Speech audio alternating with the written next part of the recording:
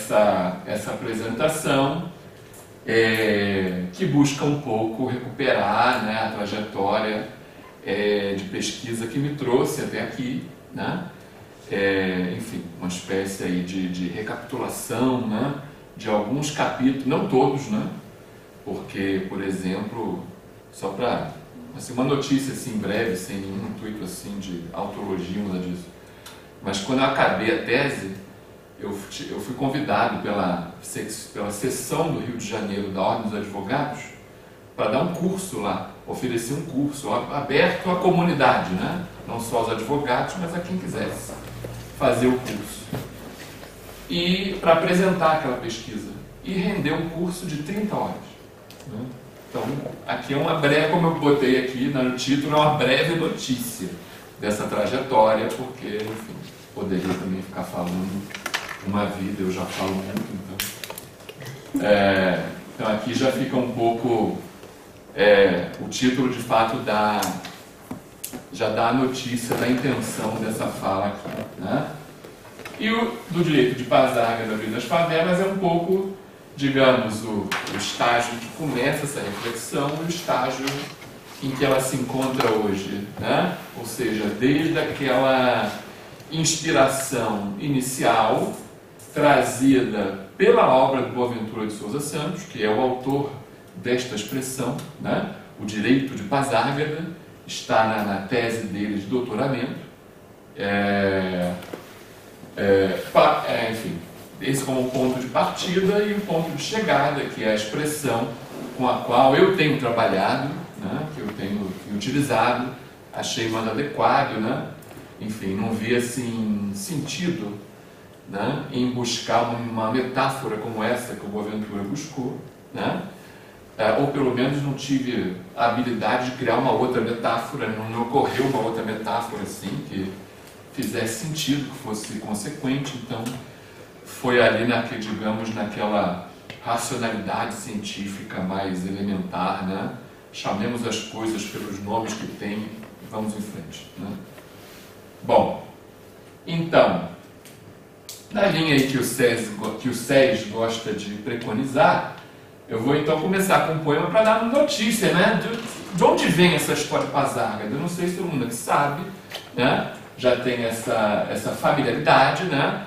É, a inspiração foi tirada desta poesia, que está aqui do início ao fim, né? uma breve poesia do Manuel Bandeira, que é de 1930 que no Brasil é razoavelmente conhecida, né? Manuel Bandeira é um, é um autor importante né? na, na, literatura brasileira, né? na poética brasileira, é de um movimento importantíssimo, né? que é o chamado modernismo né? na literatura, uma, uma virada de página, seja em termos estéticos, seja em termos políticos no país, né?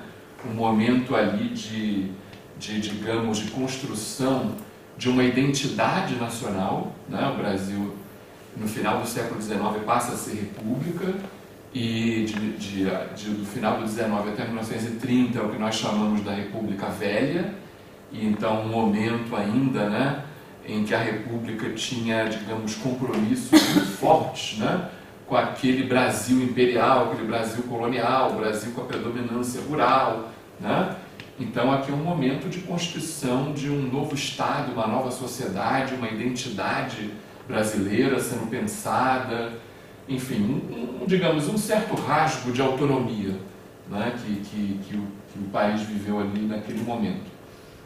E aí o Manuel Bandeira, segundo ele, foi pegar lá na literatura da antiguidade, na história do, do, dos reinos persas da antiguidade, né, uma alusão à cidade de Pazárgada, uma cidade fundada pelos persas depois de uma guerra, uma guerra vencida pelo rei Ciro, né?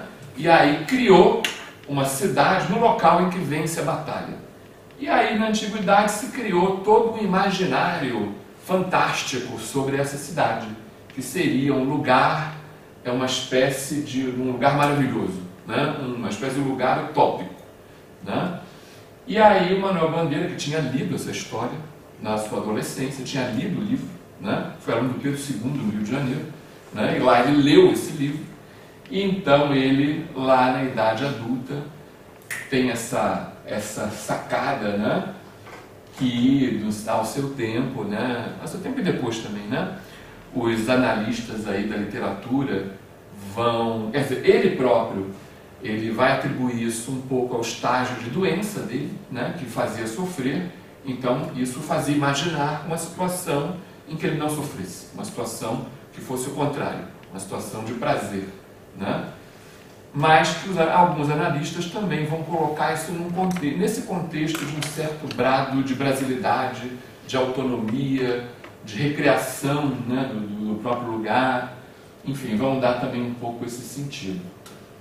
Então, não sei se seguindo a linha do SES, né, que tem algumas, algumas apresentações que são tanto quanto performáticas, né? Se vocês se animam um dia, a gente rapidamente fazer um jogral, né? cada um lendo uma estrofe da poesia, e aí nós fazemos uma leitura coletiva para nos apropriarmos né? da, da inspiração, onde que o, o Boaventura foi buscar para começar a falar de favelas no Brasil, né? pra, no primeiro momento né, que ele escreve sobre esse tema, lá no início da década de 70, já quase 50 anos atrás, onde ele, o jovem Boaventura, né, parafraseando aí o jovem Marx, o velho Marx, né, então o jovem Boaventura, né, começando ali a sua trajetória intelectual e já lançando mão de recursos argumentativos dessa ordem, que recorrem né, a uma linguagem não apenas dentro assim do cânone científico, mas se permitindo né, outras linguagens né, para ir aí enriquecendo a, a, a fala. Bom, que tal a ideia do jogral? É boa ou é ruim? Vou-me embora para Passárgada. Lá sou amigo do rei, lá tenho a mulher que eu quero, na cama que escolherei. Vou-me embora para Passárgada. Vou-me embora para Passárgada. Aqui eu não sou feliz. Lá a existência é uma aventura, de tal modo inconsequente, que Joana Lucas de Espanha, a rainha e falsa demente, venha ser contraparente da nora que nunca tive. Fechou. E como farei ginástica, andarei de bicicleta, montarei um burro brabo, subirei no pau de sebo, tomarei banhos de mar. E quando estiver cansado, deito na beira do rio, mando chamar a mãe d'água para me contar as histórias que no tempo de um menino Rosa vinha me contar.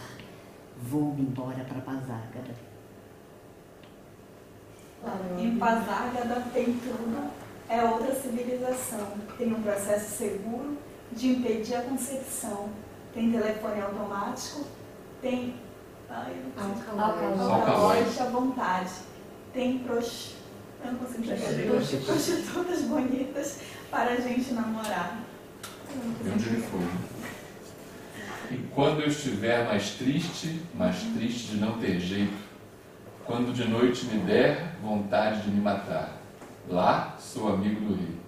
Terei a mulher que eu quero na cama que escolherei. Vou-me embora para Pazar. Bom, então, gente, o direito de Pazárgada está no título da tese do Boaventura, escrita lá nos Estados Unidos, concluída em 1973 na Universidade de Yale, que tinha um programa de estudos latino-americanos na década de 70, eles estavam preocupados 60, né, na verdade, final da década de 60, a Guerra Fria, aquele contexto todo, eles estavam muito preocupados com o desenvolvimento da América Latina, né, o histórico quintal norte-americano, né, como sabemos até hoje. É, e aí, então, nessa que o, que o Boaventura, então, a, a, aproveita dos financiamentos que tinha e vem para o Brasil, né, para fazer o trabalho de campo dele, e escreve, então, uma tese que é, é, fala do, do direito é, de Pazárgada Law, né, argumentação é, jurídica em Pazárgada, né, ou no direito de Pazárgada. Essa é a tradução do título da tese em inglês. Né? É, mais adiante um pouco, quando essa tese foi publicada numa, numa revista importante de sociologia do direito, na década de 70, já aparece com o título O Direito dos Oprimidos, The Law of the Oppressed ele falava um pouco né, aquilo que era importante, usava o título de acordo com o público, com o destinatário. Usava ali, já, já, já usava bem da linguagem, colocando ali no discurso sob medida para de algum modo interpelar né, a, a audiência, né, os leitores, enfim. Então, é uma tese aí do início da década de 70, é, e que é, então, né, baseada num trabalho de campo realizado no Rio de Janeiro, mais precisamente na favela do Jacarezinho, no ano de 1970, onde, na época, o Boaventura aluga um imóvel e se muda, se fixa lá, no intuito de fazer uma observação de caráter etnográfico, como a gente conhecia naquele momento, conhece um pouco até hoje, já com amplas reformulações, né? inclusive é até importante dizer, né? Toda essa reflexão metodológica que hoje é muito presente no SES, né? e que está né, na última versão dela nesse livro do Império Cognitivo, né, o último, digamos, produto dessa reflexão, é uma reflexão que começa nesse momento, né, porque aqui já apareceram problemas, né, aqui já apareceram os incômodos, as contradições, né, e que de fato já foi o primeiro clique para se repensar o próprio modo de fazer pesquisa social, fazer ciência, o próprio paradigma científico começou a ser pensado aqui. Já era um momento de insatisfações né, no mundo, né? década de 60 e 70 foram décadas praticamente assim de uma grande força das vários movimentos de contracorrente, né, que a gente já conheceu, já estudou, já lemos, né? Lefebvre foi desse momento, outros tantos, né, que até propuseram rupturas mais profundas do, do que ele, né?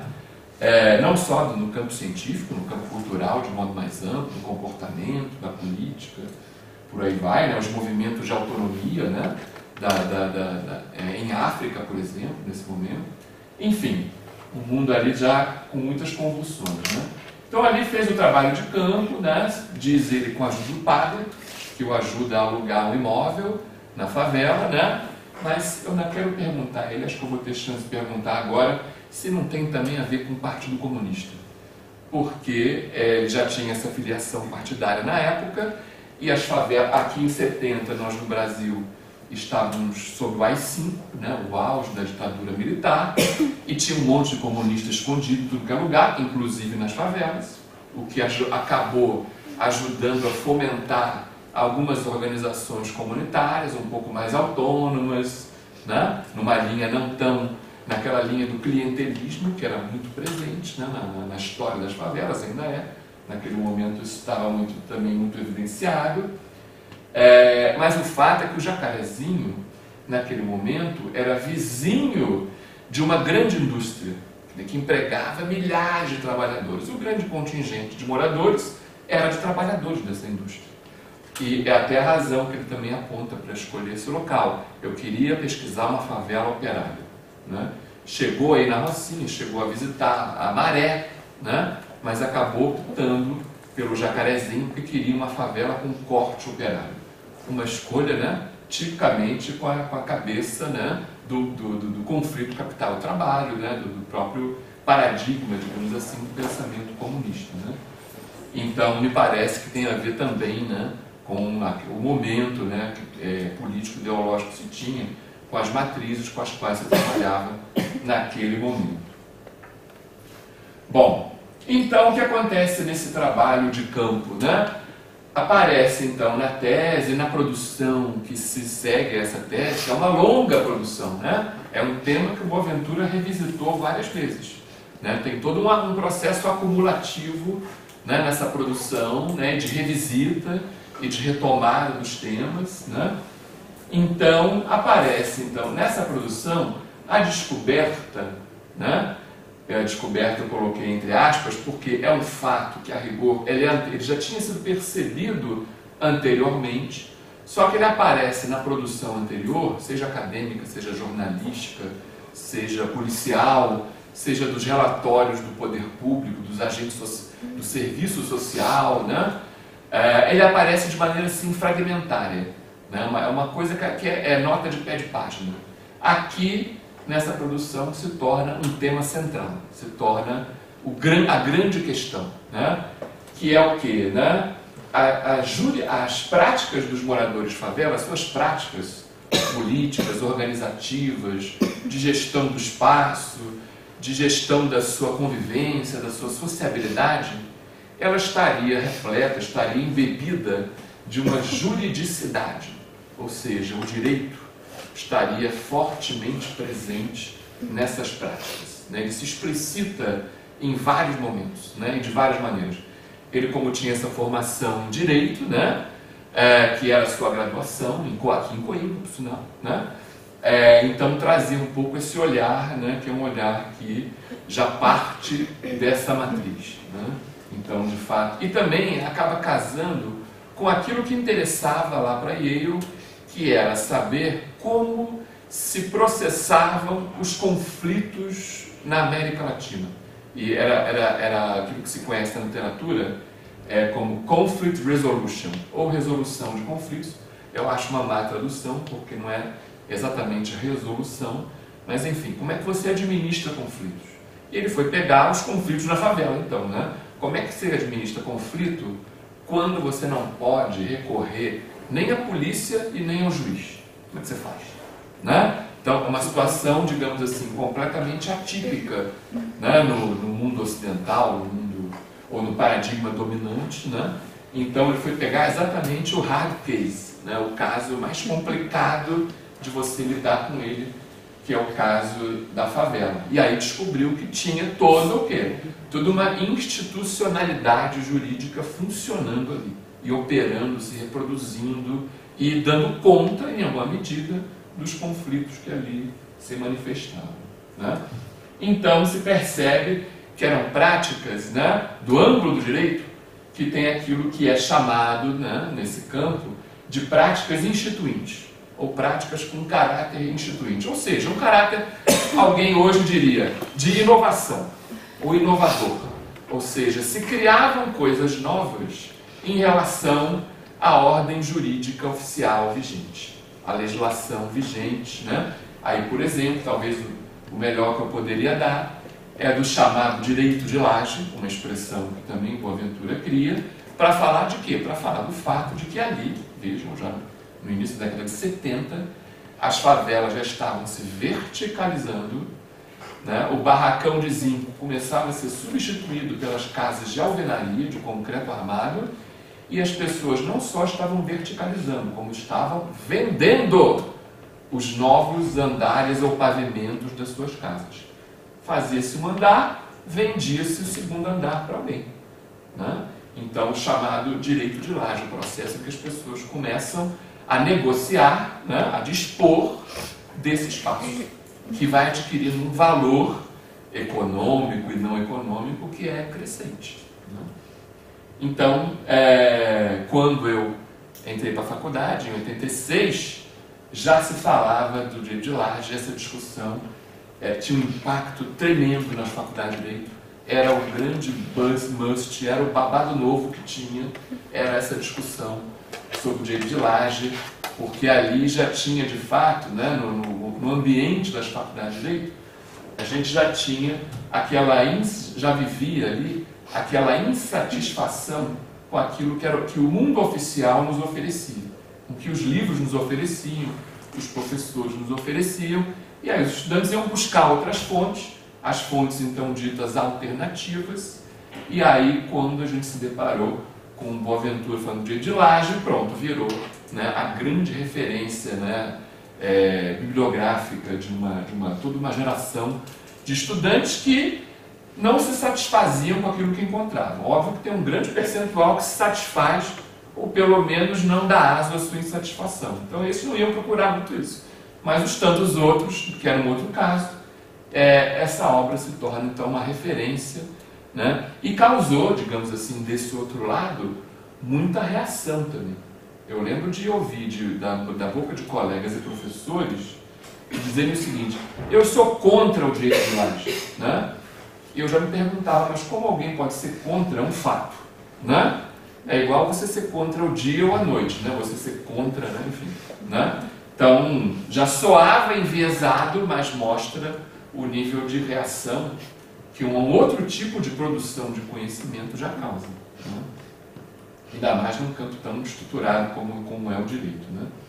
Com, né, não sei quantos séculos ou milênios de, de processo acumulativo, enfim. Bom, O que, que mais se descobre? Né?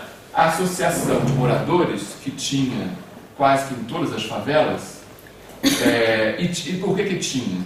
Né? Também é importante dizer, porque na década de 60 o poder público praticamente obriga isso.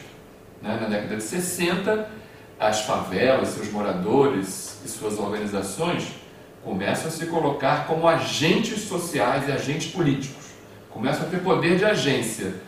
Resultado, começam a, a, a procurar, conversar, falar com o poder público. Como é que o poder público reage? Tentando controlar. Uma das maneiras de controlar foi qual? Olha, eu só converso com a associação de moradores. Né? Resultado, em pouco tempo, qualquer favela formou a associação de moradores. Porque era o jeito de garantir de se conversar com o poder público e poder ser atendido, trazendo melhorias, garantindo a permanência, tendo algum direito, etc. etc. Né? Então, a associação vira uma agência oficial. Ela vira uma longa manos, uma extensão do poder público. Né? Então, ela vai se, é um órgão né, que, a princípio, é uma organização social, uma organização comunitária de base.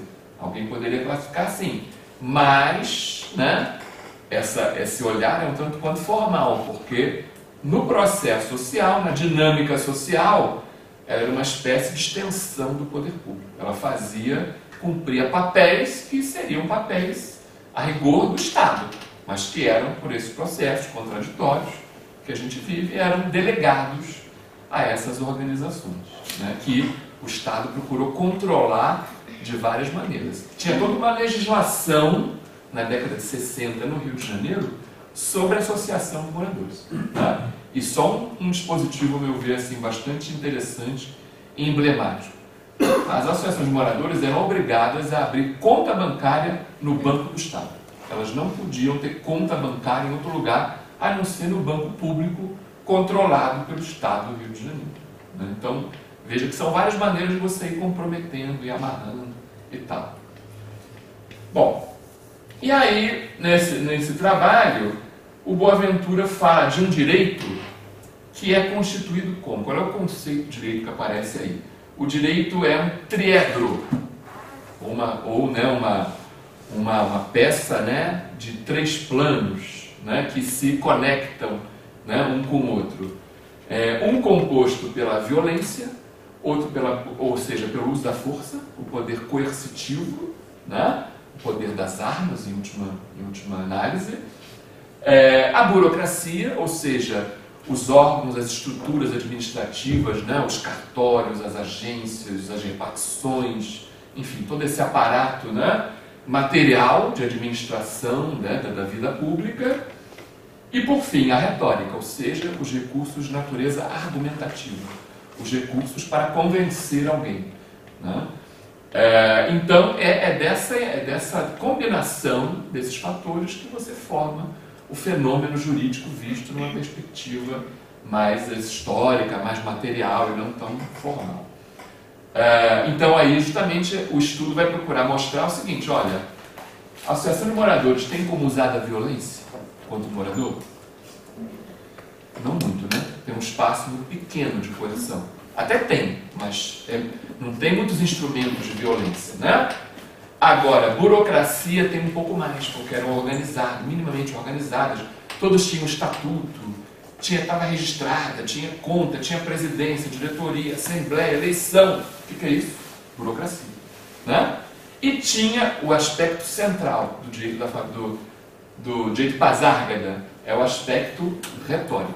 Ou seja, todo um, um trabalho argumentativo muito pesado para que aquele direito se faça valer. Né? Então é por isso que nessa obra o recurso à chamada teoria da argumentação ele é o grande recurso teórico, é a grande referência teórica dessa pesquisa, é a chamada teoria da argumentação, que tem vários autores importantes, né? Chaim Perelman, enfim, um monte de gente que contribuiu para esse corpus teórico. Theodor Wieberg, lá da Alemanha, né? Boaventura lê em alemão, lá desde a adolescência, então já conhecia essa literatura desde muito cedo. Bom, e por fim, né, para falar dessa experiência de fazer pesquiso questões jurídicas em favelas, né? aparece já nessa produção é, o, o, investigador, para usar as palavras do próprio, né? para usar a nomenclatura que aqui em Portugal né, a gente acaba aprendendo a usar, né? É, o investigador vivendo uma série de dramas e problemas e tendo que dar conta deles e começando a refletir a respeito deles. Né? Na, na, na situação limite, graças ao uso dessa palavra no Brasil, o Boaventura quase foi linchado. Né? Porque quando entra um pesquisador na favela, a primeira coisa que o morador pergunta é o que você está fazendo aqui. Né? Qual o seu interesse? Né? O que você está procurando aqui? O que você está buscando? Ele até conta como era português. As pessoas perguntavam se ele queria abrir um comércio na favela. Né? Ele não era confundido com um pesquisador, porque na cabeça do morador, o pesquisador falava inglês naquele momento. Né? Não falava português nem de Portugal e nem do Brasil. Falava inglês. O pesquisador social até tem vários que fizeram obras muito importantes no Brasil sobre favelas. Só para dar um exemplo, a Sociologia do Brasil Urbano, do casal Anthony e Elizabeth Litz, é uma das obras mais importantes na nossa trajetória sobre o tema. Né? Mas, quando na Favela da Maré alguém pergunta a ele o que ele ali fazia, ele responde: Estou cá a fazer uma investigação. Ao dizer isso, põe isso daqui para fora, né? porque quem está ali fazendo investigação só pode ser policial, só pode ser da polícia, e polícia aqui não entra no momento ele não entende aquela reação brutal, imediata, automática, fica pasmo e alguém fala, meu amigo, se você não for embora agora, você vai morrer, né? E só depois de alguns dias, né, quando a adrenalina baixou, que conseguiu começar a pensar e a problematizar essa situação, né? E é um pouco nasce daí o fim do império cognitivo, né? Se a universidade é confundida com a polícia, tem algum problema eu não posso culpar o morador da favela por essa confusão. Eu tenho que olhar para a fábrica, que é a universidade, e tenho que voltar para ela o meu juízo crítico para dizer, olha, o que, você anda fazendo que você está sendo confundida com a polícia? Né? Você está fazendo alguma coisa que parece demais com ela, né? para ter essa confusão. Né? Então não é uma mera questão de palavras, mas tem a ver com todo o retrospecto da universidade. Né? Então é um aspecto importante. Bom, então aí pulamos para o Dia das Favelas. Né?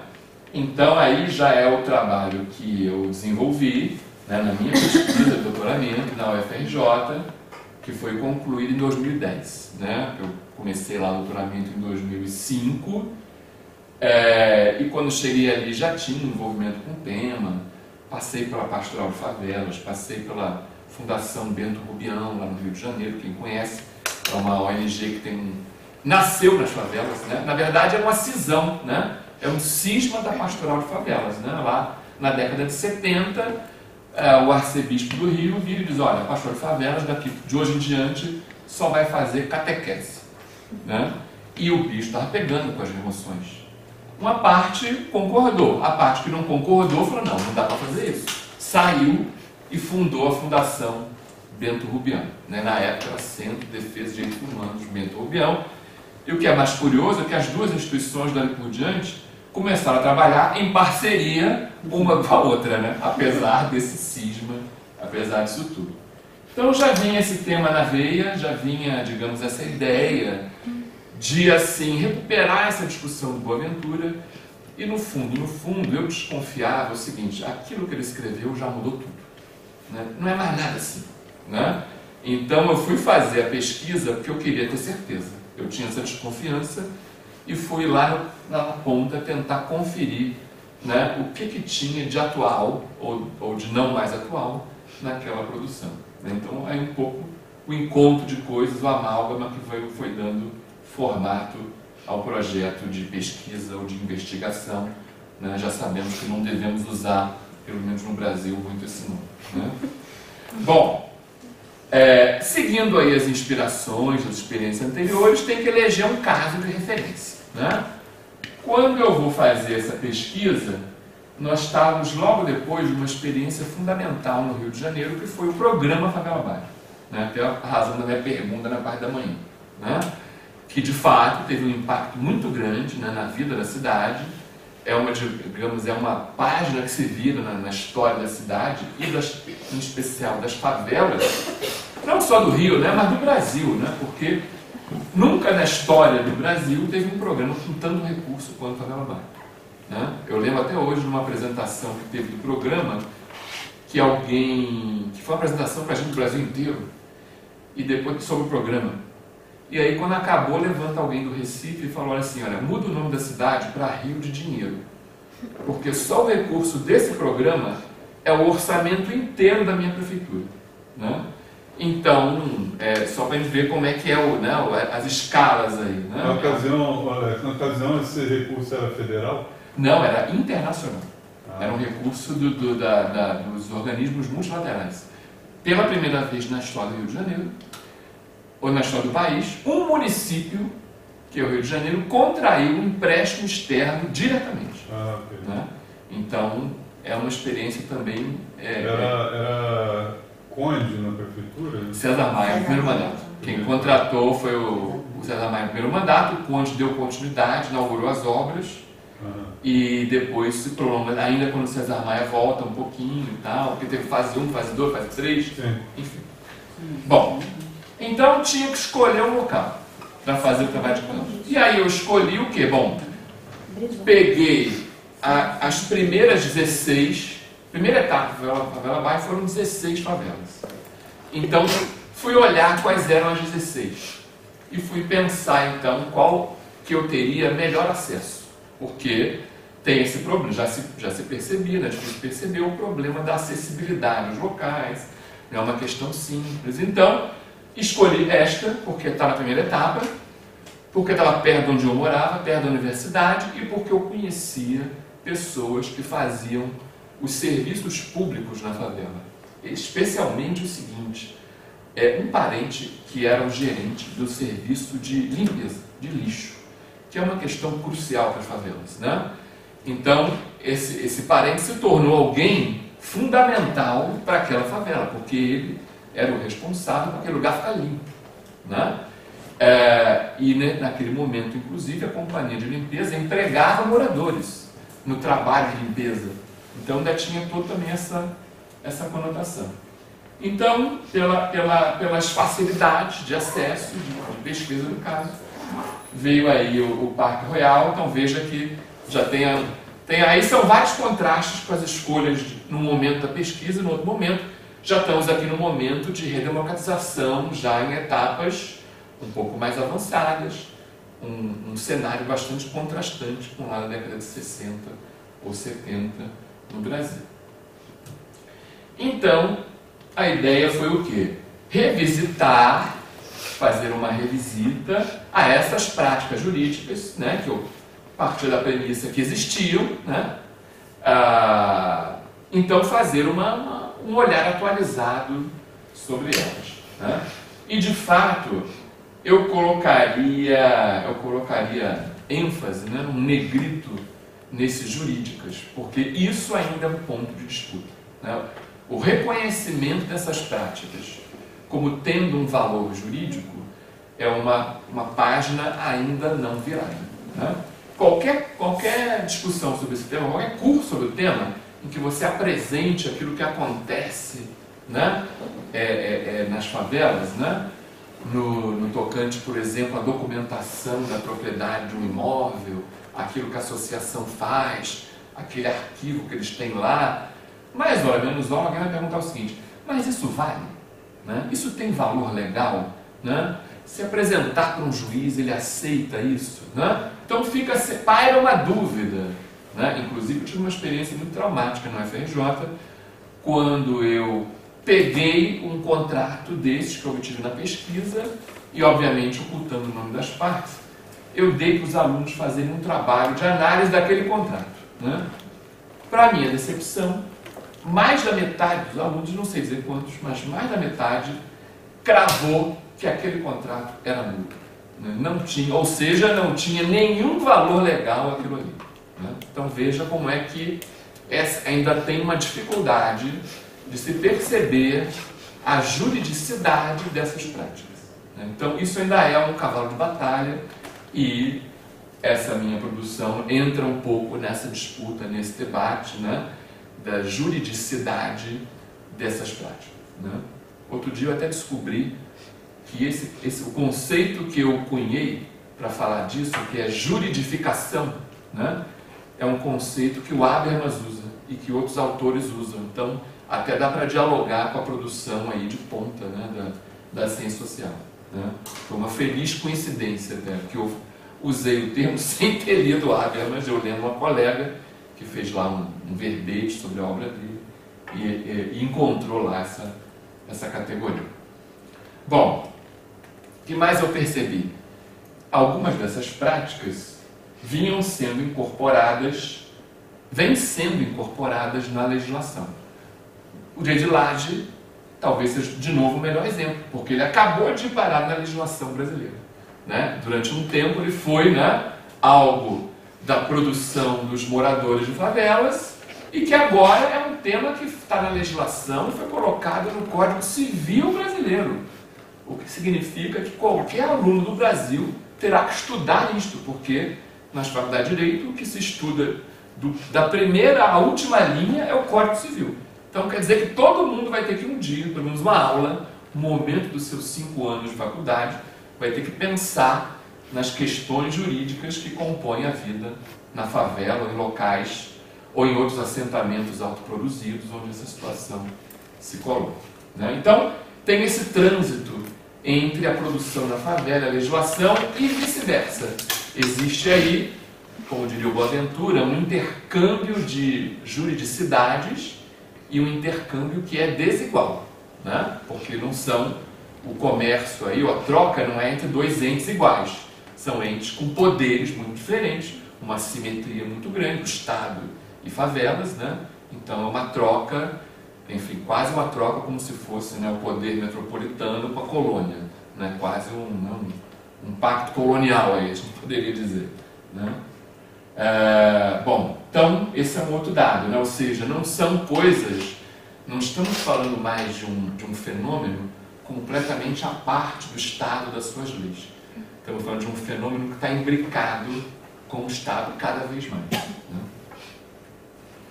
Bom, de outro lado, associação, para para o meu equívoco, da mão palmatória, muito da, daquilo que eu encontrei no campo parecia estar exatamente igual àquilo que o Boaventura encontrou três décadas e meia antes, né? para minha surpresa, eu diria. Né? É, porém, aí tem vários poréns, né? não tem mais só associação de moradores. Tem outros agentes, tem outras agências que lá naquela obra original não apareciam, porque de fato, naquele momento histórico, não tinham aparecido mesmo. Né? Então, uma delas é a boca de fumo que aparece no Rio de Janeiro, década de 80, né, uma outra instância da vida nas favelas. Né? De, de, administração, de regulação, fazendo, e aí com o poder das armas. Aí não é só na base da retórica da associação, é na base do, do poder de fogo, da ameaça de vida, em última análise. Né? Embora eu também tenha descoberto o seguinte: esse poder, muitas vezes brutal, de algum modo ele também veio se disciplinando, pelo menos em alguns locais, não em todos, mas em alguns locais. Nesse local onde eu pesquisei, o Parque Royal, a notícia que eu tive é a seguinte: olha, se aqui o tráfico não expulsa a família, né? aqui o tráfico só expulsa quem pisou na bola. Se você pisou na bola, você sai, não morre. Mas a sua família fica. Né? A sua família, eles vão inclusive defender para que ninguém expulse. Vai ficar lá, porque só quem fez o mal foi aquela pessoa ali. Né? Então, isso não deixa de ser um certo disciplinamento. Né? Um professor de direito penal diria: isso é o direito penal ocidental moderno. O crime não passa da pessoa do criminoso. Só ele responde pelo crime, não seus parentes, com exceção do Lula, como a gente sabe. Né? O Lula já, já lamentavelmente está aquém né, disto tudo. Né? Então aparece a boca de fumo, primeiro, e aparece depois o Estado. O Estado, quando urbaniza, quando entra para urbanizar, favela bairro, ele vai querer fazer o pacote completo. Ele vai dizer, não, eu não vou só urbanizar. Agora quem estabelece as regras sou eu. Não é mais associação. Então começa a se instaurar o quê? Ou se aprofundar o que eu chamei de conflito normativo. Ou seja, tem a normatividade da associação, tem a normatividade da boca de fundo e tem a normatividade do Estado. No mesmo lugar, no mesmo tempo. Como é que resolve? Haja pesquisa para entender, para compreender, para decodificar. Porque não é simples, é um cenário ultra complexo. Né? Bom, de outro lado, a preocupação do Boaventura é a resolução de conflitos. A minha preocupação não era bem essa. Minha preocupação era a questão da propriedade da terra. Como é que se organiza isso? Como é que a pessoa adquire o imóvel? Como é que transmite, seja vendendo, seja pela via da sucessão hereditária? Né? Como é que, que acontece quando divorcia, quando separa, quando tem né, é um divórcio litigioso, e tem muitos, separação litigiosas, e tem muitas, né? quando tem vários filhos, né? como é que faz? Né? Como é que formaliza essa propriedade, como é que você documenta ela? E como é que você faz o aproveitamento dela, ou seja, os processos construtivos da edificação, ou chamado direito de construir como é que ele se organiza, e também um pouco do direito de vizinhança, né? Os conflitos, quando você constrói, você vai interferir sempre na vida do seu vizinho, como é que você administra os seus conflitos. Ou quando você abre um bar, né? quando você abre um estabelecimento qualquer, né? você vai interferir no entorno, como é que você é, é, é, é resolve então essas situações e compõe os interesses. Alguns vão chamar, na favela, o pessoal chama isso direito de convivência né? aquilo que o advogado chamaria de, vizinhança, né? lá é chamado, eu percebi que era quase né, algo, não mesmo, mesmíssimo, né? mas algo aproximado daquilo que é, eles lá chamariam em outros termos, e de fato é um dos aprendizados importantes. Né? O código linguístico é fundamental, né? e a princípio você toma uma porrada doidada com isso, né? porque o cara fala assim, vira para você e fala assim, a minha casa está registrada. Aí o que, que o o advogado quadrado que pensa, putz, o cara tem um negócio lá no RGI. Minha casa está legalizada. Quem legalizou foi alguém do Estado. Em ambos os casos, não quer dizer nada disso. Né? Então você vai aprendendo a lidar com os códigos do local para tentar compreender melhor o que está sendo apresentado para você. E isso deve mudar o tempo inteiro, né? É, porque aí vale aquilo que foi dito de manhã, né? não é favela, é favelas, uma coisa muito plural, as práticas mudam de lugar para lugar. Eu peguei uma favela do subúrbio, pegando aqui carona na discussão da manhã, né? Subúrbio da cidade. É diferente se eu pegar a Zona Sul. Ou pegar a Zona Centro, né? Favela mais antiga que tem no Rio de Janeiro, lá o Morro da Providência. Né? É, não é a primeira, alguns acham que é a primeira, não é a primeira. É a mais antiga que sobreviveu até hoje. Enfim. É, mas muda de lugar para lugar, enfim, né? então não é tudo igual. É, óbvio que vai ter coisas que se repetem de maneira aproximada e outras tantas que, que vai mudar também. Né? É, agora, o pesquisador, ou professor, né? que é assim que o pesquisador, né? enfim, não cheguei a ser chamado assim, mas professor o tempo todo. Né? Parece que está escrito assim na testa, né? Então as pessoas começam, você não precisa nem se apresentar, né, só pelo linguajar, pelo, pela roupa que veste, as pessoas já começam a lhe tratar como professor. Né? Então é, o tratamento era um pouco assim, né? o que eu percebi que até facilitou um pouco as coisas. Porque é uma de algum, forma de proteção. De algum modo o professor é respeitado, isso, isso eu senti nessa, nessa minha incursão. Né? Agora, ele não deixa de ser interpelado de várias maneiras qual é seu interesse, o que, que a gente ganha, qual vai ser o retorno e coisas do gênero. Né? Você não é da prefeitura, fica uma desconfiança, você não é da prefeitura, não. Né? Fica também uma desconfiança de que pode ter ali uma, alguma vigilância.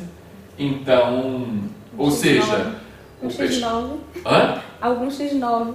Pois é, pois é, fica sempre esse, esse medo e segue sendo interpelado, né? Enfim, como é que como é que os dois lados aqui podem, podem ganhar? Né? E até muitas vezes consultado, né? De fato, também está na cabeça do morador se aquilo que é feito lá, se aquilo vale, isso aqui está certo. Eu fui perguntar algumas vezes isso. Isso aqui está certo? Né? Nesses termos, né? certo ou errado. Né?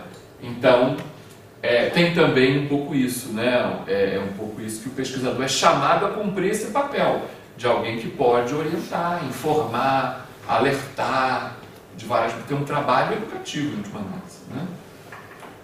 Bom, para visualizar um pouco, né, que as imagens também falam, e nessa, nessa, nesse projeto de pesquisa eu tenho aprendido a lidar com outras linguagens, não só a escrita, mas também muito a visual. Então, essa foto é interessante, que é do local pesquisado, antes do, antes do, no início, na verdade, do projeto de urbanização. E aí dá para se perceber várias coisas importantes, né? É, primeiro, sobretudo para quem não é do Rio de Janeiro, né? É favela em área plana. Para quem não é do Rio, você fala favela, já percebi aqui que no imaginário é uma tá lá em cima do morro, né? Na zona sul, sim, mas no subúrbio não. No subúrbio do Rio de Janeiro, a favela muitas vezes está em área plana, está na beira d'água, ou seja, em área de cota muito baixa, que tem problema logo de drenagem, né? Tem muita palafita. A origem é em aterros, essa área aqui essa área aqui era uma praia na origem. Eu levantando a história do lugar, descobri que essa área é uma praia mesmo, né? Aquela, do ponto de vista físico. exatamente esse lugar? Ilha do Governador. É E- isso, UFRJ? isso aqui, isso aqui que você está vocês estão vendo aqui, deixa eu apagar a luz para ficar mais nítido. A foto. Isso aí é a Brasil? Essa, não, essa área aqui, essa área aqui é, é, é um pouquinho depois da cabeceira da pista do Aeroporto Internacional do Rio de Janeiro. né? Então, é uma área vizinha ao aeroporto. Né? Paraíba do Governador. É, então, vejam, não tem asfaltamento, né? Muito, aqui, tudo isso aqui é palafita, toda essa faixa aqui são palafitas. O restante área, sobretudo pra, daqui para cá, do campo para lá, né? Não é, não é palafita, mas é área aterrada. O pessoal vinha com sobra de material de construção, sobra do que você pensar. Até latão de ferro, o pessoal vai jogando, vai aterrando para poder fazer casa e depois andares em cima. Acho que já dá para ver que tem casa de dois, de três andares, já tinha verticalização. É, na beira de uma via de comunicação, ou seja, acessibilidade ao local. Né? Do outro lado aqui, um conjunto habitacional, um projeto público. onde é a localização do fundão. Não, não, universidade. Não, se era perto. É, é perto, é perto. É, não, É, é. tem um outro mapa que depois vai dar para ver. É do governador, é vizinha ele do fundão. Não, eu sei. Mas aqui nós estamos para o fundo da Bahia, essa margem aqui. O fundão está do lado oposto, o fundão estaria completamente para cá. Ah, tem áreas livres, né, para lazer, para usos comuns, né, ah, enfim, para várias finalidades, né, para festa, né, para encontro, para quermesse, pra, enfim, pra, e para alguns para reserva fundiária. Né? Há quem. Alguma, eu vi pelo menos um depoimento de que, olha, isso aqui é um campo, ok, mas tem dono. Né? O dono, uma hora, pode resolver pegar um pedaço, lotear e vender. Né? E o dono, aí sim, é a boca de fundo. Nesse caso aqui, era a boca de fundo. Nesta versão. Que eu nunca fui apurar fundo para saber. Né? Tem coisa que você não deve nem perguntar, né? Quem é o dono do campo? Imagina, tu chegar lá e perguntar isso, né? Só investigador É a quer chave- o dono do campo. Só investigador faria essa pergunta. Pois é. Né? Ninguém mais faria essa pergunta ali, né? Porque já aprendeu de antemão que ia mexer em, num- numa casa de marimbondo, né? Enfim, então dá para ver um pouco de características físicas né, do assentamento. Tem algumas ruas, ruas centrais, né? tem um certo plano de ruas, né? enfim, não é um espaço inteiramente caótico. Foi também uma das imagens que é, é, na tese eu procurei desconstruir a imagem do local como local que não tem regra, que vale tudo, você faz o que bem entende. Não é assim, porque tem um traçado de rua aqui que de algum modo todo mundo respeitou. É verdade, todo mundo quando pôde avançou um pouquinho ali para ampliar a casa, para fechar uma obra, mas a rua está lá. Né? Então, enfim, tem um jogo aí, nem tanto para um lado, nem tanto para o outro. Né? Um jogo também complexo. Bom, então aqui uma, um flashzinho dessa área. é uma, é uma área que tem mais ou menos, na, é, nesse momento que eu fiz a pesquisa, tinha mais ou menos 10 mil pessoas morando, é, o que significa dois, algo entre 2.000 e 2.300 é, 2.300 unidades ou moradias, né, unidades habitacionais. A gente fica aí nessa média 4 a 5 pessoas por unidade. Às vezes mais uma família por unidade, mas não é mais tão frequente. Né? E isso é muito devido a filhos que casam. Né? De fato, onde tem isso, um grande número de casos é isso. Né? O filho casa e, e, e, e traz a mulher, ao contrário, a filha traz o marido. E aí que verticaliza para ter o, cara ter lá a sua casa, o seu quarto, o novo casal, o novo núcleo familiar. Né? E a predominância baixa renda no padrão brasileiro de, de, na classificação de baixa renda, ou seja, aí a faixa de 0 a 3 salários mínimos é coisa de 80% dos moradores. Bom, então tem isso aqui uma foto mais ampla, ali dá, aqui dá para ver o aeroporto, né? Aqui sim. Ilha do Fundão, ok? Ilha do Governador, só, um pedaço, só metade, a parte oeste da Ilha do Governador, ok? As pistas do aeroporto, veja que é monumentalmente grande. É, e aqui o local em que foi feito o trabalho de campo, que por sinal está na curva de ruído do aeroporto, ou seja, uma área que tecnicamente não poderia ser habitada. Inclusive, fazendo várias entrevistas, eu tinha que parar quando tinha avião posando, porque não se ouvia nada. Né? E moradores mais antigos contam no tempo da casa de madeira, quebrava prato, que caía no chão, a casa tremia, caía tudo no chão, e as pessoas deixavam coisa que podia quebrar no chão, ou pasmem, dentro de um balde cheio d'água. Era o único jeito de não quebrar quando trepidava né, de tirar todo o atrito possível.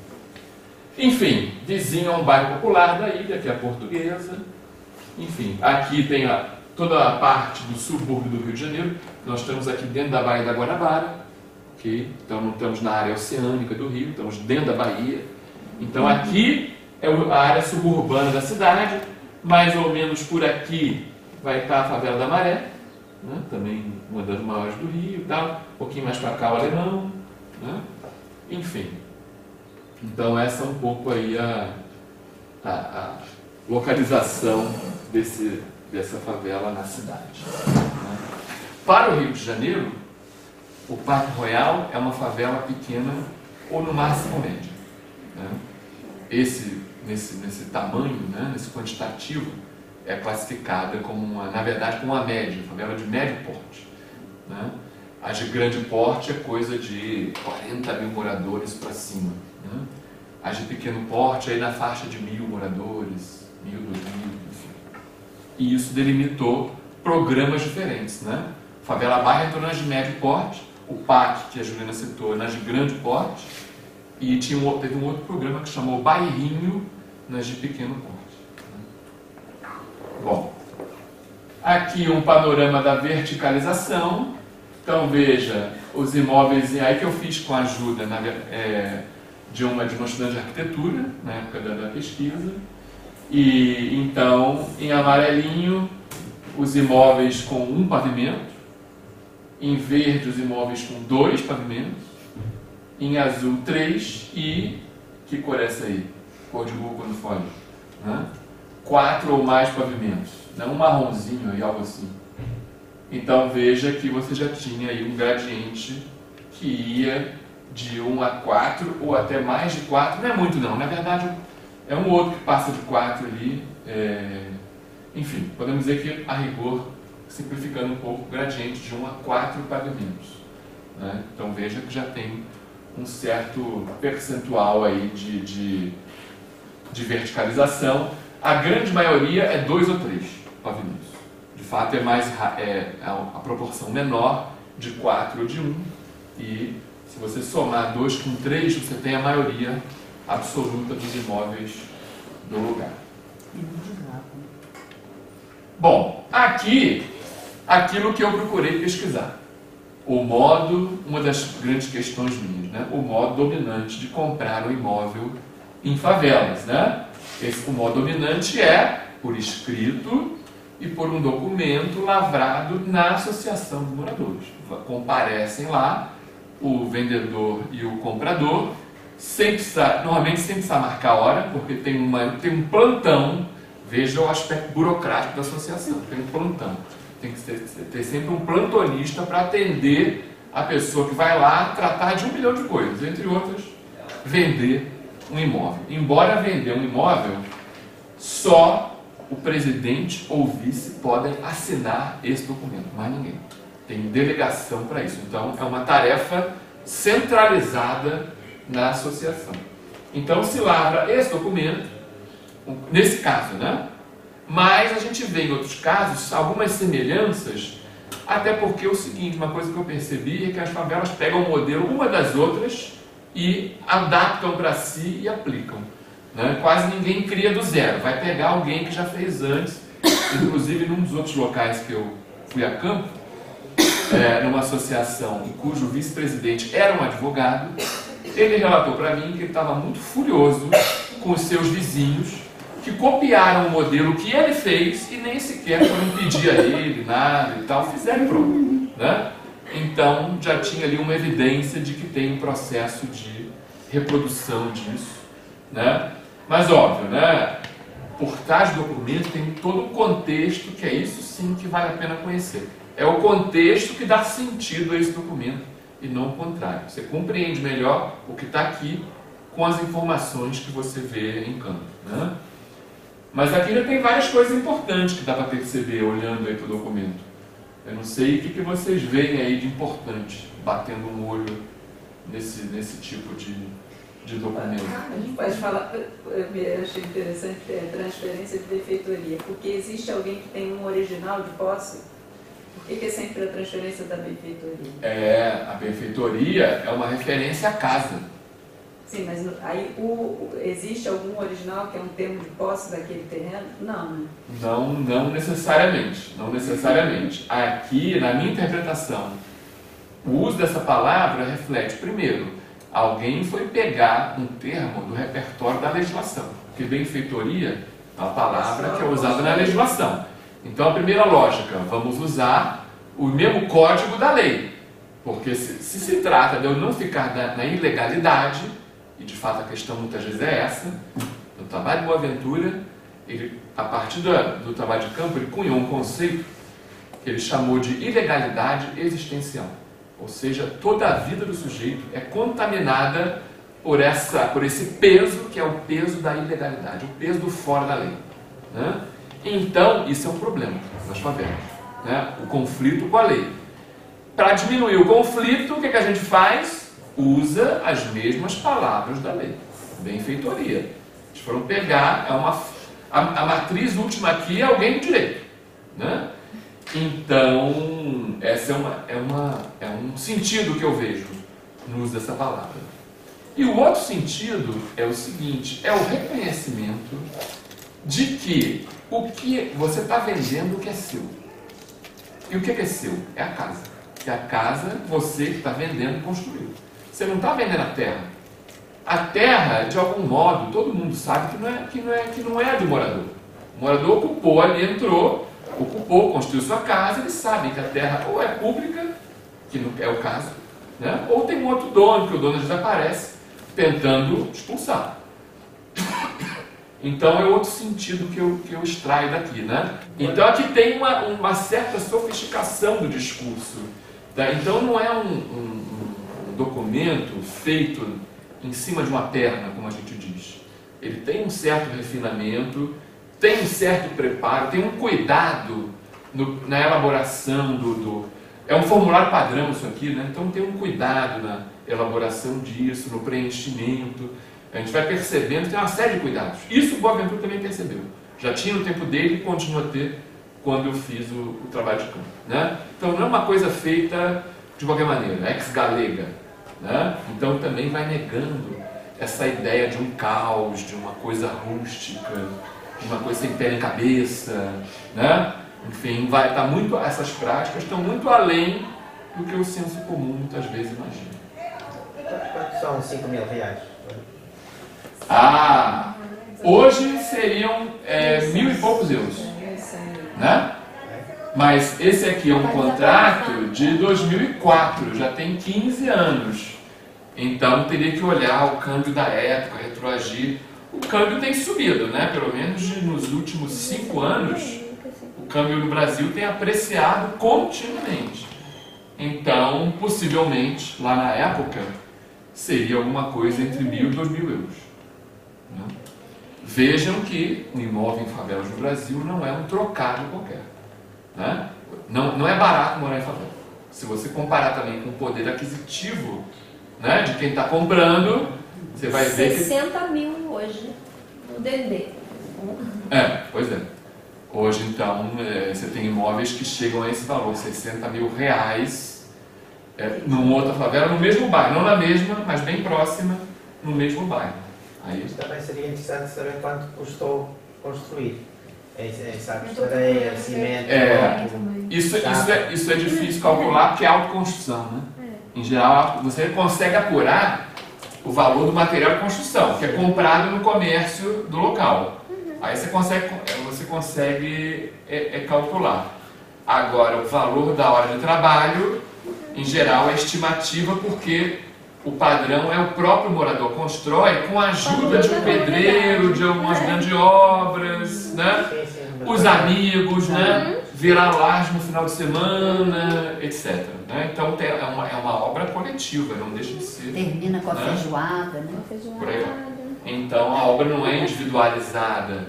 Então é um cálculo difícil por causa do próprio processo construtivo. Ele às vezes é longo, né? Tu não faz do dia para a noite. Né? Faz um dia um quarto, no outro mês outro. É uma obra que é incremental. É aquela história, é uma obra que nunca está pronta. Tem sempre vergalhão para fora, esperando uma chance de você ampliar, melhorar, etc. Né? Também depende, né? Essas que caíram na Musema, construídas pelo. Não tem nada a ver com isso aí. É, é outra Tem nada a ver com isso aí. Aquelas caem, mas essas Ali, não. Musema é produção empresarial. É. Né? Porque a organização É. é criminosa, mas economicamente é empresa. Né? Dinheiro não tem cheiro, como a gente aprende na faculdade, então não importa se é lícito ou ilícito. O que importa é que é uma organização empresarial que produziu. É outra história. Isso diferente, aqui né? não, aqui não tem organização empresarial. Né? É um outro modo de, de produção. né? Então, teve todo esse esforço de ir, ir aos documentos, né? não ficar só neles, mas os documentos foram um capítulo importante dessa pesquisa, tanto no caso do Boaventura quanto no caso meu. Ir a essa documentação foi um exercício importante e estruturar um, um método de análise, né, de inferir é, informações desses documentos. Então, de fato, assim, só comparando esse documento com outras fontes que as fichas vão caindo. Tem coisa aqui que à primeira vista a gente não compreende, mas vai reunindo com outras informações, vai montando quebra-cabeça, as coisas começam a fazer sentido, você começa a desvendar né, qual é a engenharia que tem por trás disso daqui. Por exemplo, Alex, só, só para antes de você seguir, esse documento é um documento que tem intrinsecamente a sua validade, digamos, mas ele não tem validade perante a justiça Eu diria, que, eu diria que sim, de várias maneiras. Ele prova que você comprou, que você Digamos, no caso de um conflito entre as partes, ela é passível de ser. Com toda certeza, toda certeza. Eu que comprei, posso com esse documento provar quando eu comprei, de quem eu comprei, quanto eu comprei.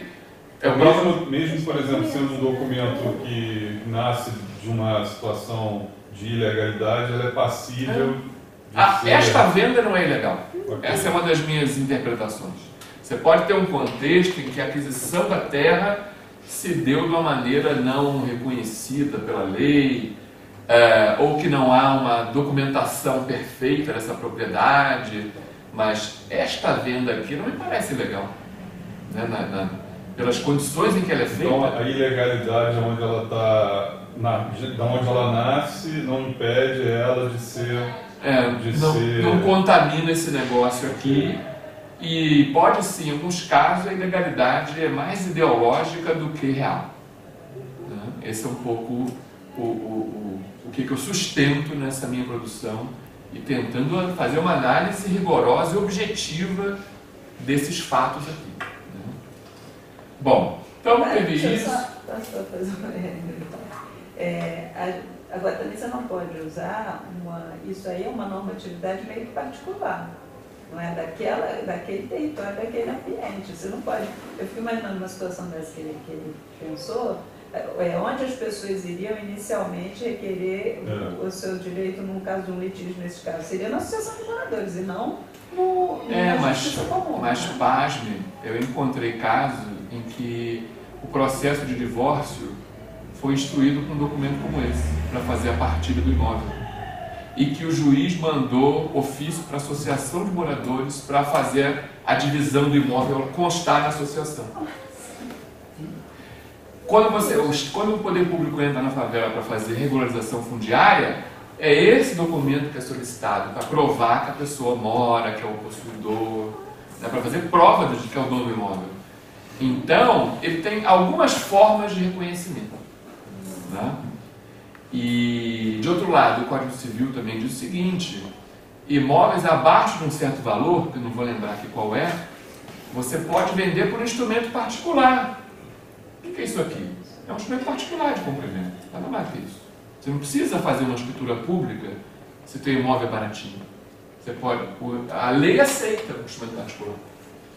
Então tem aberturas, tem várias aberturas que dá para dizer que esta venda aqui ela é válida não apenas no conceito interno da favela, mas ela também é válida no conceito do Estado à luz da sua legislação. né? E, na prática, eu diria até que ela é indispensável, essa documentação, seja internamente, para a economia interna da favela, seja para o próprio Estado, para as suas políticas, porque se não tiver isso, que documento vai ter? Em alguns casos, nenhum. né? E esse talvez seja o mais confiável né, que, que existe. Então, por vários ângulos, né, dá para afirmar a legalidade e a legitimidade desse tipo de documentação e da prática que está por trás dele. né? Bom, aqui isso é uma, um, também um exercício estatístico para demonstrar em que frequência. Alguém poderia perguntar: em que frequência isso ocorre? É todo mundo que faz isso? Quantos sim, quantos não? Eu consegui, no caso, fazer uma estatística usando de aproximações, usando de algumas ferramentas estatísticas, cheguei a essa frequência aí. Esse modo de comprar e vender imóvel, no caso estudado, fica na faixa de 80% dos casos. Os outros ficam ali 2, 5, 9, quer dizer, os outros são quase residuais, as outras fórmulas. Essa fórmula ela é dominante do ponto de vista estatístico quantitativo. né? Então, uma outra maneira de tentar evidenciar a importância disto. né? Agora, isso é um lado da moeda. Isso é a juridicidade que nasce dos- da- das organizações locais. Quando o Estado entra para urbanizar, ele entra, como eu dizia, como eu dizia antes, né? com o seu pacote. Né? Foi até o tema de um artigo que eu apresentei há uns anos atrás no Congresso. Depois da urbanização, vem a regulação. Ou seja, primeiro urbaniza, depois o Estado começa a querer dizer as regras do jogo. Né? Então, por exemplo, no caso estudado, só esse local né, já tinha, quando ali na época eu fiz a pesquisa, esse pacote normativo elaborado pela prefeitura vigorando no local.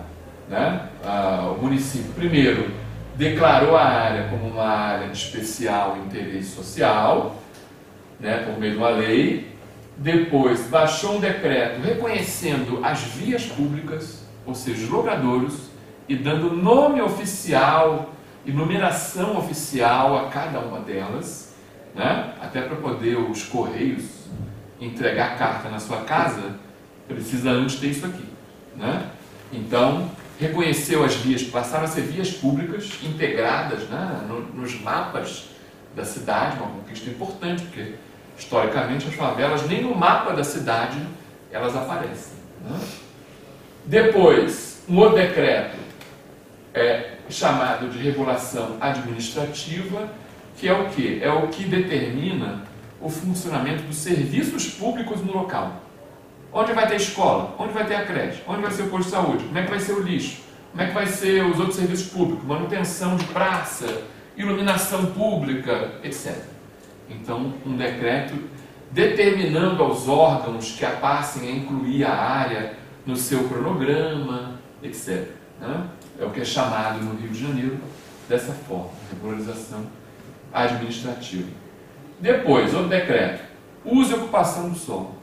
Até, que, até, até onde pode construir, até onde pode verticalizar, número máximo de pavimentos, é, características das construções, muito básicas, muito elementares, e os usos. Além de moradia, pode ter o quê? Pode ter que tipo de comércio no local.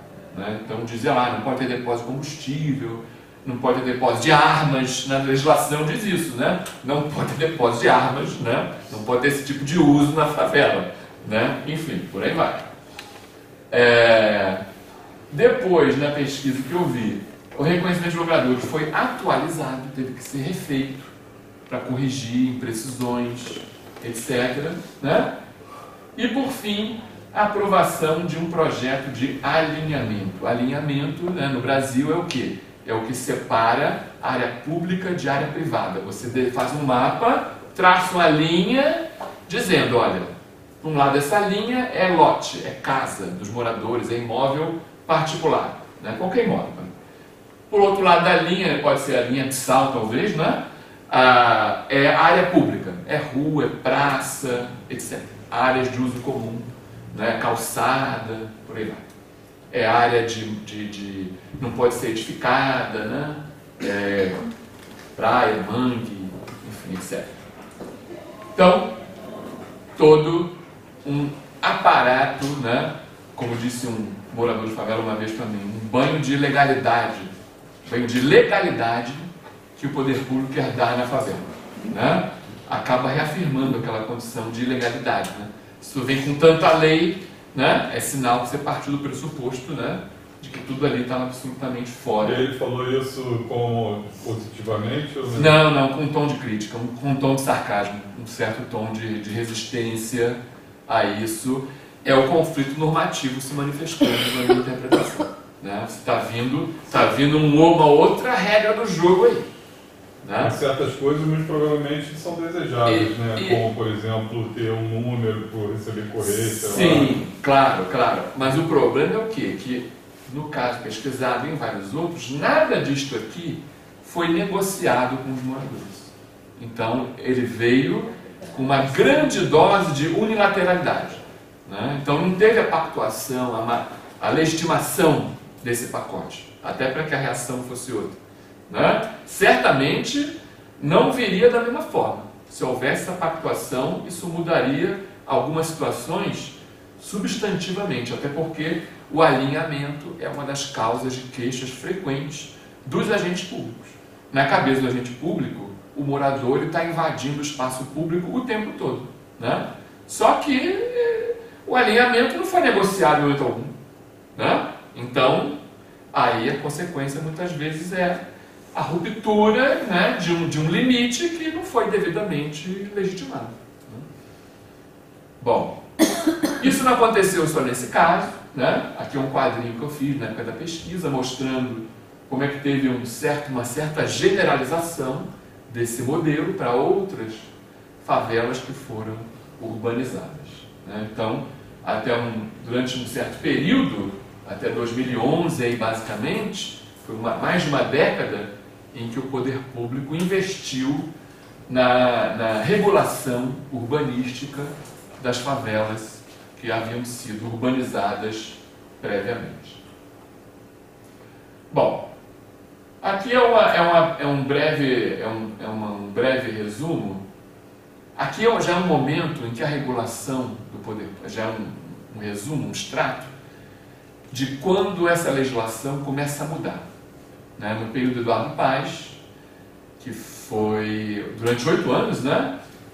Ele saiu em 2017, não foi isso? 16, 2009 2016, né? O período Eduardo Paz na prefeitura. Aconteceram algumas mudanças nessa regulação. E essas mudanças tiveram sistematicamente um caráter de endurecimento. Né? Você começou a apertar as favelas com a legislação. Né? Então, por exemplo, coloca condições né, para permitir usos e atividades complementares. Não pode ser poluente, não pode é, incomodar a vizinhança e tem que auxiliar a melhoria da qualidade de renda da população.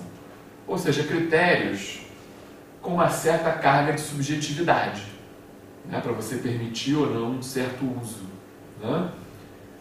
Depois, né, sobre as edificações existentes, elas são passíveis de regularização, ou seja, elas podem ser legalizadas ou não.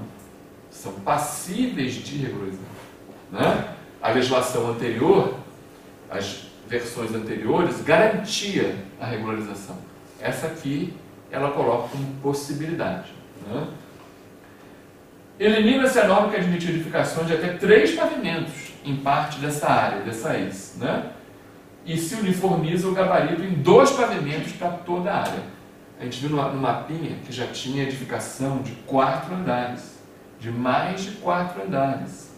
E aqui você tem uma mudança na lei que reduz, como se a favela estivesse diminuindo, perdendo gente e não ganhando. Né?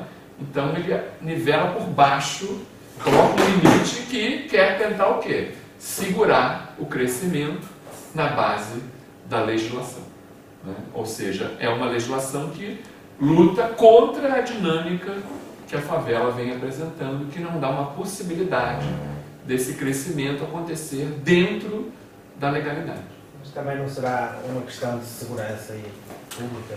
O argumento. Dois, três andares é pode ser perigoso em termos.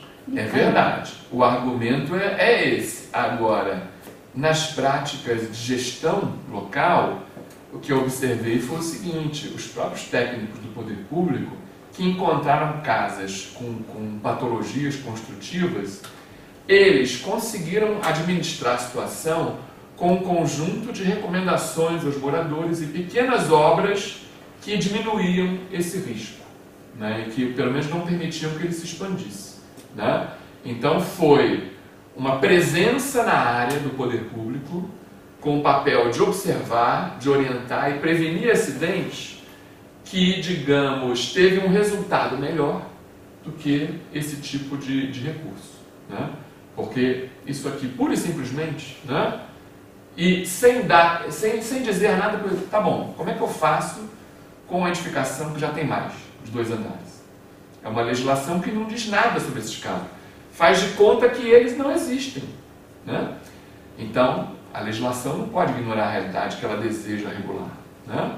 Ela está supondo um território que não existe mais. Ela não deu nenhuma alternativa para quem tem mais de dois andares. Né? Como é que eu faço? Né? Ah, como como para bom entendedor, meia palavra basta, né? Onde você não, não deu nenhuma alternativa, fica claro, o recado subliminar é o seguinte, ou você destrói, ou você não vai legalizar. O preço para você entrar na legalidade é caro, é você desfazer uma obra que já fez. E também aquilo, essa legislação toda foi feita num contexto das, das remoções lá por conta das grandes obras. Já foi, que, já foi ali. Que aí estava já foi ali. Um, um oportunismo também é. nessa legislação. Foi. Isso. Então tudo aquilo que flexibilizava um pouco foi sendo retirado, né? Eliminou-se a norma que admitia a aplicação da legislação do entorno para imóveis situados na borda externa, ou seja, no limite da área da favela com o bairro, a legislação era mais permissiva. Ela dizia, olha, você pode, ao invés de aplicar o limite da favela, você pode aplicar o limite do outro lado, do bairro, que em geral permite mais, que você verticalize mais. É uma espécie de norma de transição, né? Quem está ali na borda já está ali numa área de fronteira, de limite. Então você faz ali uma norma de transição. Né? Eliminou-se essa norma, ou seja, passou a ser um corte brusco entre a favela e a não favela, no, no, no que tange a sua gestão, a sua legislação. Né? Então, uma série de mudanças que deram um caráter pesado de controle, né? É, é, é, repressivo a essa legislação. Né? Bom, então é um pouco isso o retrato da pesquisa, né? E aí hoje, né? Essa aqui são algumas das questões, ou as questões ele está sempre reelaborando, atualizando, modificando, revendo. Né? Então, no estágio mais recente, a pesquisa hoje né, tem lidado aí com questões como essa, né, que espécies e normas têm de fato vigorado né, nas favelas e em outros assentamentos autoproduzidos, quais as fontes materiais dessas normas, qual o grau de influência que a legislação tem sobre a produção dessas normas, e também o contrário, a recíproca, como essas normas da favela influenciam a legislação municipal. Eu já vi casos disso, que o município alterou a sua legislação para atender um entendimento que existe nas favelas sobre o terraço. Né? Na cabeça do morador de favela, o terraço não é pavimento. Na legislação do Rio de Janeiro, se você fez um terraço, botou um murinho, botou a cobertura, aquilo é pavimento. Botou a escada, é pavimento. Né? Então tinha esse, esse, de novo, conflito normativo, que foi resolvido como, ou pelo menos administrado, uma adaptação da legislação a esse entendimento, né, para diminuir a carga dessa conflitividade. Né? Então tem esse, essas influências recíprocas, essa tensão permanente. Ocorrem intercâmbios jurídicos entre a cidade e as favelas, ou são dois universos distantes? Todos os elementos que eu tenho recolhido sugerem a primeira hipótese. Embora, quando, quando você radicaliza algumas antinomias, né? quando você aprofunda a linha abissal, você começa a perceber universos estanques, ao invés de universos que permitam um intercâmbio, que tem uma porosidade entre um e outro. Começa a ter, né, no período recente, pode ser uma tendência, a lógica do gueto, né, ela começar a se aprofundar progressivamente. Né? E aí, de outra maneira, uma questão também muito ligada, o direito da favela é o mesmo ou é um outro em relação ao direito da cidade? Né? Então, essas são poucas questões que eu tenho andado envolvido com elas. Aqui para mostrar o seguinte, né? É, tem vários pesquisadores ou investigadores é, interessados nessa discussão, que estão produzindo sobre questões como essas. Né? Então aqui eu estou listando oito trabalhos acadêmicos escritos aí nos últimos 14 anos é, por autores do Rio de Janeiro, de fora, né? o Alexandre Weber é lá do Rio, mas a Nárida Rincon Patinho é colombiana, a Sara Araújo aqui do SES, né? o Hernando Acosta é colombiano, a Adriana Lima é de Salvador, o Vitor Nizida é do ABC em São Paulo e o Osias Peçanha é lá do Morro do Vidigal no Rio.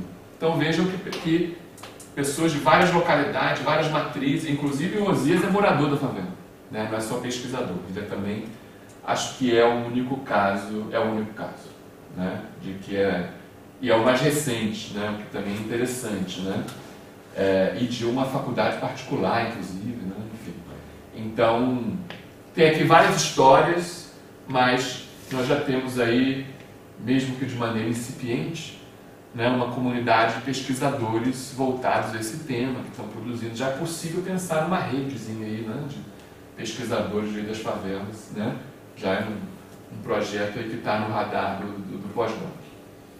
Então, horizontes futuros aí já concluindo, né?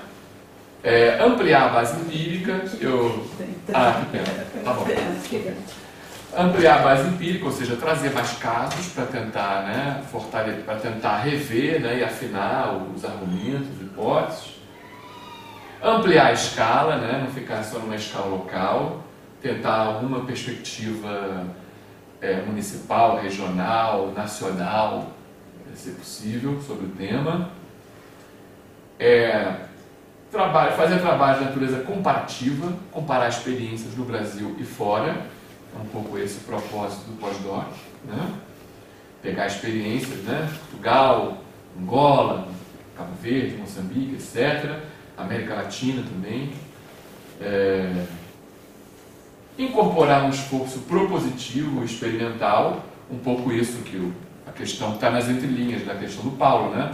É melhor ou é pior os, os dois pavimentos? Como é que a gente faz para fazer a regulação da favela na legislação. Né? Quais seriam os caminhos para isso, os critérios, os experimentos, as propostas, os modelos que a gente poderia elaborar, pra, até para ajudar na, na, na, política pública. Né? E a interlocução com outros pesquisadores, com outras pesquisas. Né? É, enfim, ampliar os, os interlocutores. Né? Conclusões, peronomúltiplo, que nunca são conclusões mesmo, né? Aqui são né, alguns, alguns resultados últimos desse trabalho, né? O espaço das favelas ele é historicamente regulado, ao contrário da ideia do caos, da anomia, etc. Nós temos aí, alguns paradigmas muito presentes nesse debate. anomia, ou seja, tem gente que vê isso, ausência de regras, descontrole, né? É muito discurso da mídia, por exemplo, né, no Rio de Janeiro. Né? Outro discurso, a liberdade absoluta, né? acaba sendo um pouco parecido. Né? É um pouco a pegada do, do John Turner. Freedom to build. Né? Não é tanto assim. Né? Freedom peronomútil, porque tem toda uma, toda uma, uma, uma série de constrangimentos. Né? E aí também a imagem da ditadura é muito presente, das leis impostas pelo tráfico de maneira draconiana implacável inflexível, inegociável, é uma ideia que tem uma dose de verdade. Né? Se fosse também então assim, você já teria, já teriam desaparecido todas essas práticas. Né? Como não desapareceram, tem algum espaço para elas. Como elas estão aí, isso significa que essa ditadura também tem aí a sua relativização. Né? Bom, tem uma tensão das fontes normativas, isso que eu falei várias vezes é, internamente externamente, tem uma articulação forte entre urbanizar e regular. Né? Regulação e emancipação, duas variáveis independentes. Né? O que, que eu quero dizer com isso? Você tem uma regulação mais forte né, das áreas de favela, por exemplo, com essa legislação que eu mostrei. Mas isso significa níveis crescentes de emancipação? Não necessariamente. Essas coisas andam descoladas. Né? Você pode ter mais direito e menos justiça, mais regulação, menos emancipação. Esse paradoxo é amplamente possível. Né? E até mais emancipação com menos regulação né? também. Então, são variáveis independentes. Né? E o problema da negativa de valor jurídico a essas práticas que eu chamei de desjuridicização ou desjuridificação é, é um conceito importante para tentar capturar esse conflito e como é que ele vem sendo, vem acontecendo, vem sendo processado. Bom, gente, é isso, né? É, próxima semana eu estou retornando ao Rio de Janeiro, né? Então, aqui é um dos eventos aí para dizer até breve, até novembro. Então já está tocando a, a canção O Fado da Despedida, né? Então é esse o contexto aí do, do investigador. Né? E como serão os Fica próximos? o e-mail né, para o contato remoto. E os próximos eventos? Os próximos, Essa, periferias. A ideia é que assim, tenham voluntários, voluntárias que a, assumam, que organizem uma vez por mês, eu posso ajudar remotamente, né? mas tem que ter uma linha de frente aí. Né? Então é, é, é a bola rolada aí, pode ser a vez aí dos colegas e das colegas, né? A gente pode ir conversando aí a esse respeito, pessoalmente antes de eu ir, depois por e-mail, por Skype, por aí vai. Vamos inventar as formas. Então é isso, gente.